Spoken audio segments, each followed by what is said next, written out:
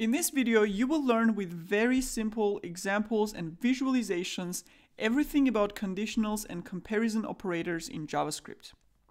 So first, let's see what comparison operators are.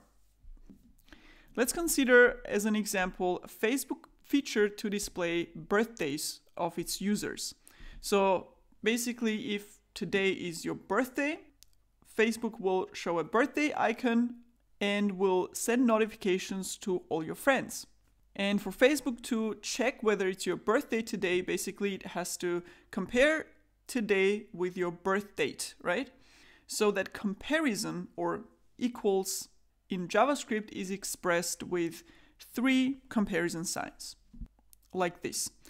So one comparison sign is reserved for assigning variables, as you saw in one of my previous videos of variables. So double or triple equal signs are used to check the equality of two values. So let's see the difference between the two. So let's say I have a variable age, 30. So if I compare value of variable age to 30, then I get true, right?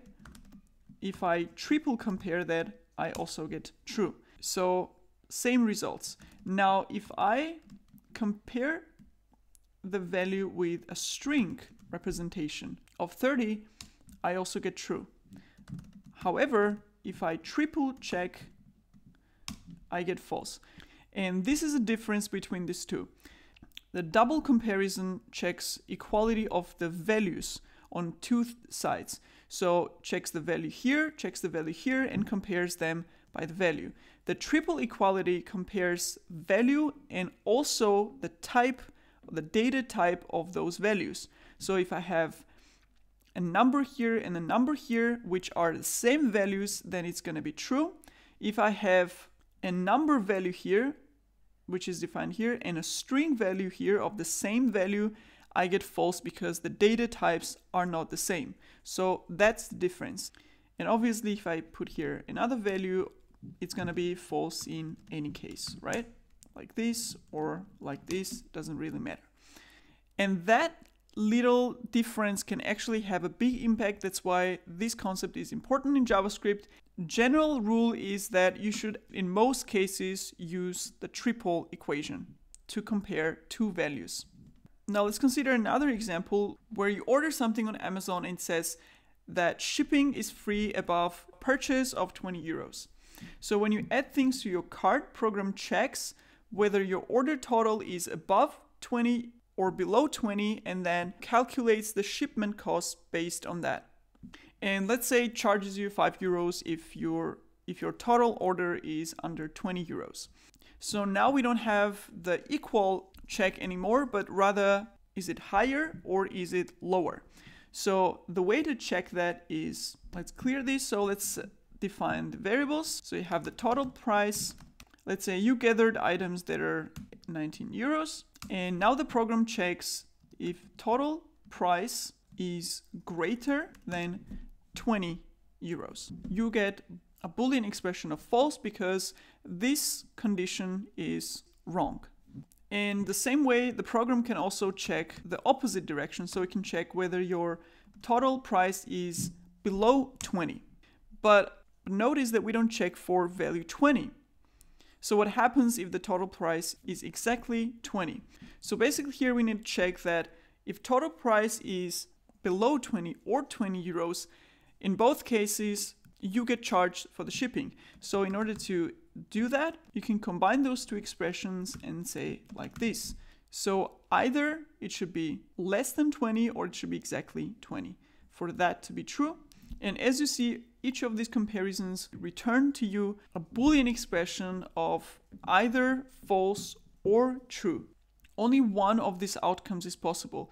So what this means is that in the program, you check if this condition comes out as true, then you want to offer free shipping. Otherwise, you want to charge 5 euros for shipping. And the way it's going to be written inside of the program using JavaScript syntax is if total price is greater than 20, here will be code that, let's say, calculates um, or sets the price of shipping. So here we set it to zero. There's no shipping cost. Otherwise is expressed with else shipping cost equals to 5 euros.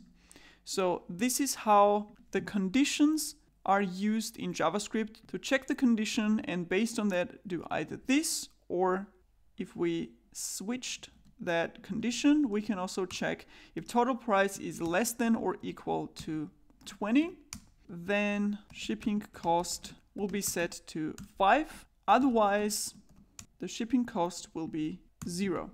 So to go back to some technical terms in JavaScript, this here is called if-else statements. Whatever is inside if is called a condition. So this thing here that evaluates to either true or false is a condition. And this here that compares those two values is called a comparison operator. So greater, smaller, equals, etc. All these are comparison operators. But let's say you have a case where you have three different shipping costs, right? So for example, if the price is below 10 euros, you get charged 5 euro shipping costs. If it's below 20, you get charged only 3 euros. And if it's above 20, you get charged nothing. Now you don't have if else only, but you have three conditions. It's also super simple to do that with if else. So basically you check again if total price is less than or equal to 10, you get charged 5 euros. And here you are gonna say else if, which is another statement where you can write the conditional, where we're gonna check whether total price is less than or equal to 20. In that case, you get charged 3 euros and there comes our final else, which is zero. So now I have three conditions here. So the first condition here says it's less than or equal to 10. The first one checks another condition. And the third one, um, important thing to note here that the last else or the, the else here doesn't have a condition explicitly, but it implies that both of these above conditions were false, so both of them were wrong. And because it's implicit, we don't have to check it explicitly here. So you could also go here and do that, else if price is greater than 20. And this will work just fine. However, because it's implicit, we don't need that. So we saw comparisons between two values using equals higher or lower. The final operator is not equals.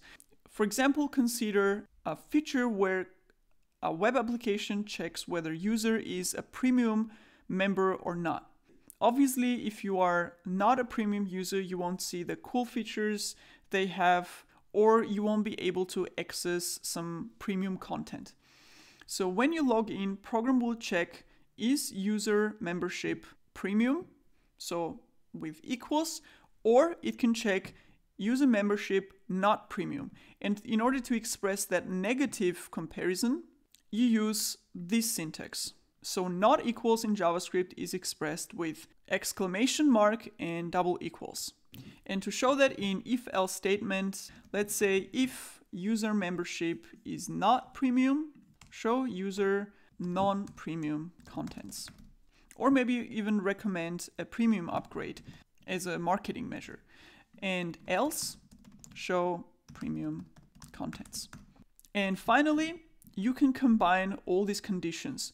So for example, if today is your birthday and you have displayed that on your profile, only then the program will show the notification. So both conditions must be true. So if today's date is the same as your birth date, and birthday displayed is true. So here you can use a comparison with uh, boolean true or false. So both these conditions must be true for notification to be sent. And in JavaScript, the syntax for end is this. So this basically is also a valid condition that you can also put inside of the if condition.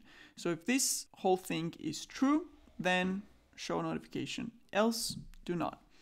Or another example, back to the shipment cost, let's say you don't pay for the shipment if the total price is over 20 euros or you have Amazon Prime account. So the way to express that would be total price over 20 euros or Amazon Prime equals true. So here only one of them has to be true for you to get free shipment or in JavaScript is expressed with double pipes. And again, you can put that in if statement and say if either this or this is true, then give a free shipment, otherwise don't. And you can also use negation in conditions. For example, you want to check whether this whole thing is false. And the way to do that is using the exclamation mark and the brackets. So basically this will check whether this whole condition is false. Now, even if you understood all these concepts, it's always a good idea to practice them yourself so that you get it better. So because of that, I'm going to put a link to practical exercises for conditionals and comparators in the uh, video description below. So make sure to check that out and practice yourself with a couple of examples. And once you do that, you can come back for another JavaScript video. And if you don't want to miss that, you can subscribe to my channel and click the notification bell so that you get notified when the next video is out. So thanks for watching and see you in the next video.